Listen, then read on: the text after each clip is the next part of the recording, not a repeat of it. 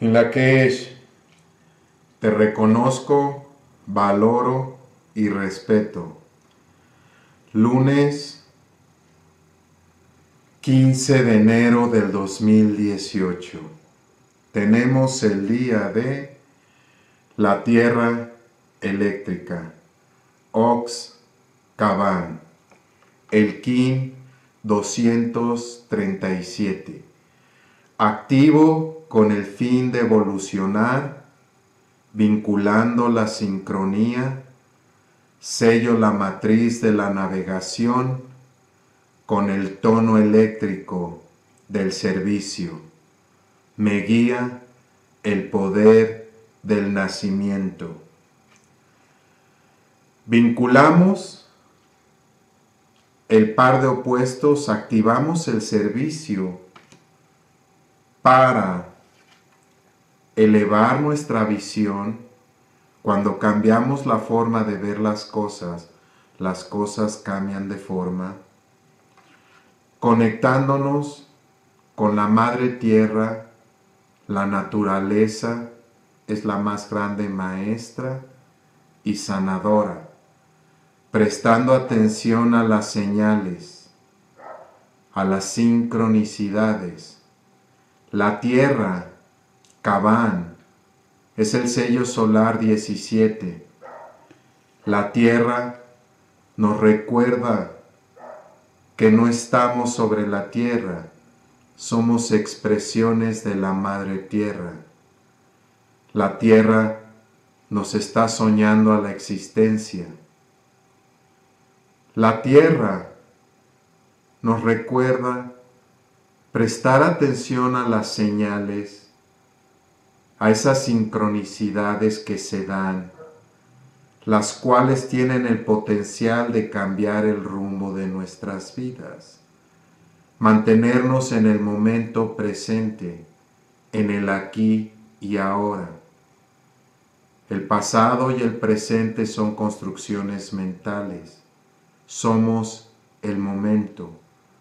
Cuando estamos en el momento presente, es más fácil que prestemos atención a las señales, a menudo por estar pensando en el pasado o en el futuro no las vemos.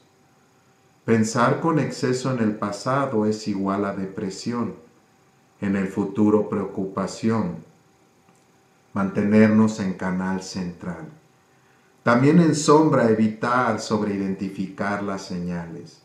Es mi quina antípoda a menudo podemos sentir que todo es una señal, ¿verdad? Ciertas cosas que son como son, pero hay una línea fina manteniéndonos en el momento presente. Caminar descalzos en el pasto, abrazar un árbol, conectarnos con la naturaleza, especialmente si pasamos mucho tiempo en ciudades donde hay concreto, realmente es cuando más nos ayuda a hacerlo. Estamos evolucionando, la Tierra está evolucionando. Lo único que nos llevamos cuando terminemos esta experiencia física es el nivel de conciencia. Para los mayas, la vida física es una oportunidad que se nos da para alcanzar mayores niveles de conciencia, por eso es tan preciada este tiempo. Lo más valioso que poseemos es el tiempo, más valioso que el dinero. El tiempo no lo recuperamos, el dinero sí. El tono 3, los tres puntos en numerología maya, es el tono eléctrico OX. Vinculamos el par de opuestos, activamos el servicio para alcanzar el propósito que nos marca la onda encantada de el águila, elevar la visión y lo hacemos a través de la energía de la tierra, Cabán, conectándonos con la madre tierra, prestando atención a las señales. El tono 3 nos recuerda la Sagrada Trinidad, el triángulo, vincular el par de opuestos, el par de opuestos con el tono 2 nos ayuda a identificar los obstáculos, recordándonos que no es blanco ni negro, es gris el camino de en medio. Brindar servicio especialmente en esta onda encantada del águila, el brindar servicio. Tenemos tono 3, que es servicio, y el águila servicio. Para los mayas no hay mayor llamado que brindar servicio. Hay dos caminos, servicio al ego o servicio a los demás. La mayoría brindamos servicio al ego. Realmente nos interesa el beneficio personal, es todo. Cuando brindamos servicio, cada acto se vuelve un acto de sanación para el planeta. Nos guía la energía del dragón Imish, el sello solar número uno. El dragón Imish es el nacimiento, es el inicio, es la confianza, la nutrición, el agradecimiento.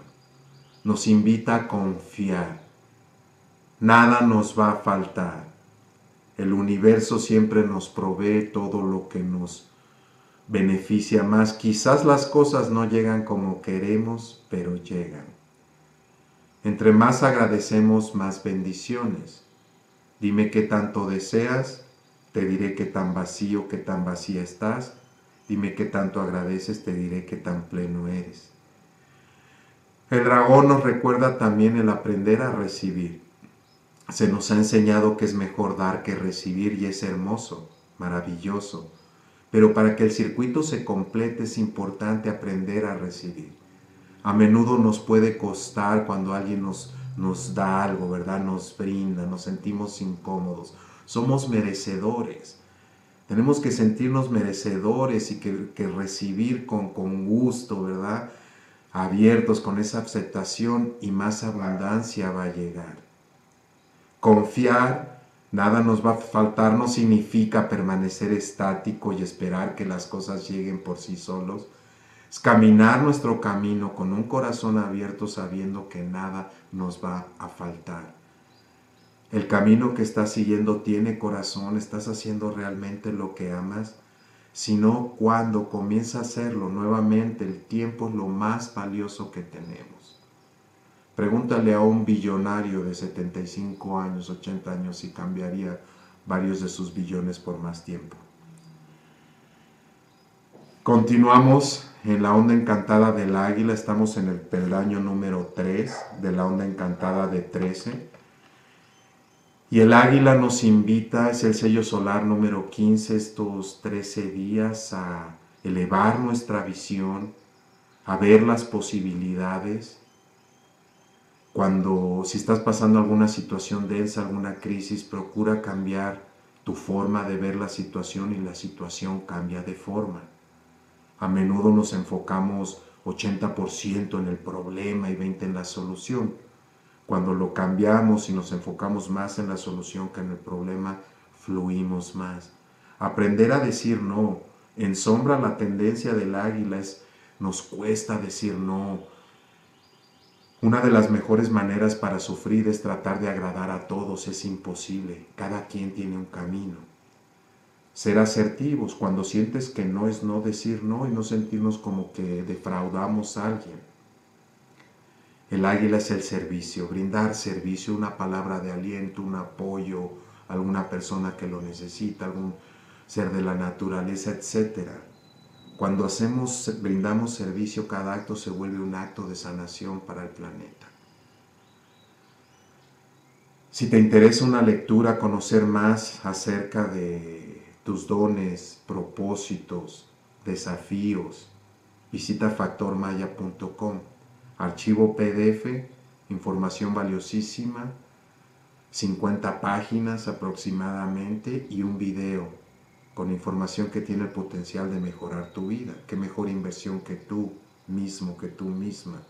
Nuevamente, si te interesa, visita factormaya.com. Gratitud infinita por su atención, luz, paz, amor y sobre todo entendimiento en el camino. In Lakesh.